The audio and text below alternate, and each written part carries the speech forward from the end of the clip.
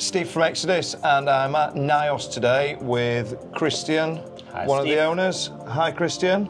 Thank you for having us.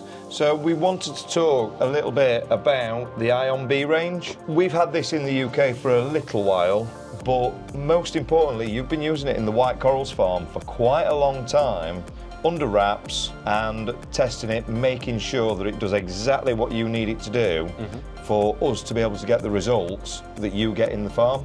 Yes, Steve, uh, we've been using the Ion B for quite a while now in the farm, and what we found is that we got a lot more stability in the systems. So one of the big advantages is that you dose the exact same amount of alkalinity and calcium. However, that being said, you see that um, if the dosing of the alkalinity solution and the calcium solution is the same, then your tank is in balance. And um, before we just used the regular Balling salts, and it was sometimes very difficult if you, for example, dose 150 ml of alkalinity and 800 ml of calcium, if that is in balance or not. Yeah, okay. So does this play a part in the trace elements that are in here as well? Because not only is there some trace elements in here, but we've got trace elements in here as well. Yeah, so with the trace elements, we've put them into separate bottles because for calcium and alkalinity, it is quite easy to um, uh, to make a balanced mixture. But uh, the trace element consumption of each tank is quite different. Yep. That's what we found in our testing. And um, that's the reason why we have the trace elements separately. And uh, we recommend to start with 10 ml of trace element when you start Per, per litre per liter. Ion, Ion B, B, yeah. yeah. So maybe first I explain how it works in general. Yeah, it's sorry, super simple. I'm, I'm, ju- I'm jumping around here. Okay. yeah, uh, so it's super simple. So you have um, two trace elements for the calcium solution, and uh, you just add 10 ml of each per liter to your calcium dosing. And then we have one trace element for the alkalinity solution, and the same thing, you add 10 ml per liter of the alkalinity solution in there, and that's it. Okay, so so I'm ta- I'm taking this home. I'm going to run it on my on my system. So I've got 2,000 mil there, two liters. Mm-hmm. So I want 20 mil of that one in there, 20 mil of that one in there, same in there, but just the one bottle in mm-hmm. there of 20 mil. Yeah. Run that for a month, then send my Yeah. ICP off. Yeah, that's what we recommend. Okay, send my ICP off. If so, if I am coming up short on, let's say I'm coming up short on iodine, what would I adjust to be able to bring those levels back in? Yeah, so we have the um, explanation on the bottles which trace elements are in there, so Yep. you know um, uh, which you need to increase, and then you um, just add another 5 ml of Yep. trace element uh, to your um, dosing container, and then you wait for another month and check. And then test again. One, so once we reach that point of we know exactly what consumption we've got, you have then got two bottles that are perfectly matched to your system and is going to give you everything that you need.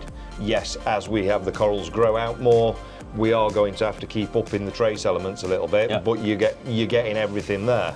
Which, to my knowledge, I don't believe that there is another company out there that can give you a two-part dosing solution that covers absolutely everything. So on these, Christian, we have two bottles. Mm-hmm. We have the Ion B Part 1 and Part 2. But then when it comes to the elements, the trace elements, we have three bottles. So can you please explain for us why we have to do two separate bottles into one and one bottle into the other rather than just having two bottles? Yeah, and there's a very simple reason for that. Um, because of the high concentration of the trace elements, they are um, solved in different solution.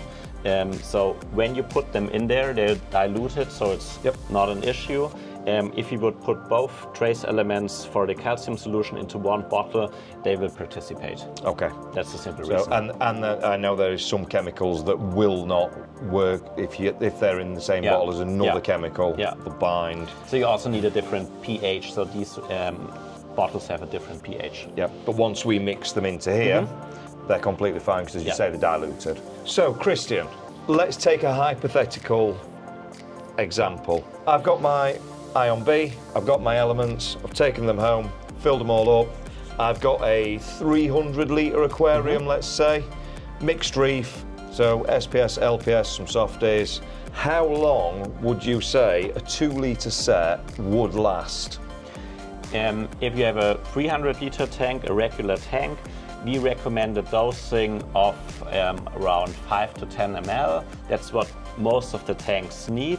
Yep. And that means with your 300 liter tank, you need, let's say, 7.5 um, per 100 liter times 3 is around roughly 20 milliliters per day.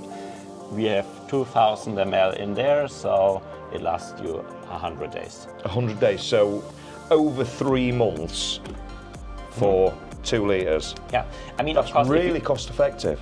Yeah, um, yeah. The, the solutions are very highly concentrated. That's the reason why they last long. But of course, it depends on your coral load. So if Yes. you're heavy stocked SPS, you will need more. If you have just very few um, SPS or LPS, then uh, it will last longer. Yeah, uh, and there's also five litre options in this as well. So yeah, that's really really good. So we were here a year ago talking about Ion B and launching Ion B. The difference that I've seen in the farm in that year, now I know that you've been using this, has really spoken to me about how simple this is to get the results. I think this should be on everybody's aquarium. It's simple, it works, it gives you everything that you need. It really is that simplicity in a bottle. Thank you, Christian. Thank you, Steve.